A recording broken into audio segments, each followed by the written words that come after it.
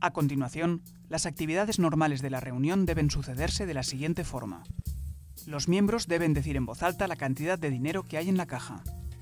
La tesorera contará el dinero y dirá en voz alta la cantidad. Los miembros pagarán las multas y los pagos pendientes. Los miembros deberán fijar las condiciones del préstamo y decidir si creen que la persona que pide el préstamo tiene un plan razonable para devolver el préstamo y los intereses. Lo primero que se debe discutir es el importe del préstamo que se está pidiendo. En segundo lugar, el grupo necesita definir la duración del préstamo en semanas o meses. El grupo también debe discutir el propósito del préstamo.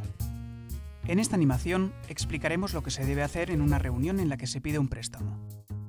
Para comenzar la reunión, la presidenta debe iniciar la sesión de forma oficial. Seguidamente, la presidenta comunicará al grupo que van a evaluar la petición de un préstamo.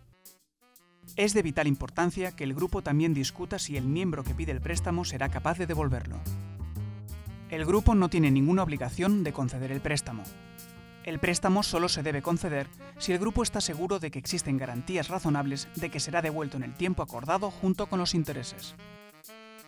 Si se aprueba el préstamo con una mayoría de votos a favor, la persona que recibe el préstamo deberá devolverlo en las condiciones que ha sido aprobado.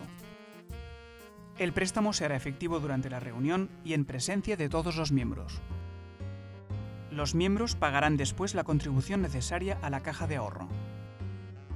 Las ayudantes recordarán los pagos pendientes y las multas que se deben pagar. La tesorera contará la nueva cantidad de dinero en la caja y la dirá en voz alta. Los miembros dirán en voz alta y recordarán la cantidad que ha dicho la tesorera. La presidenta dará por finalizada la reunión.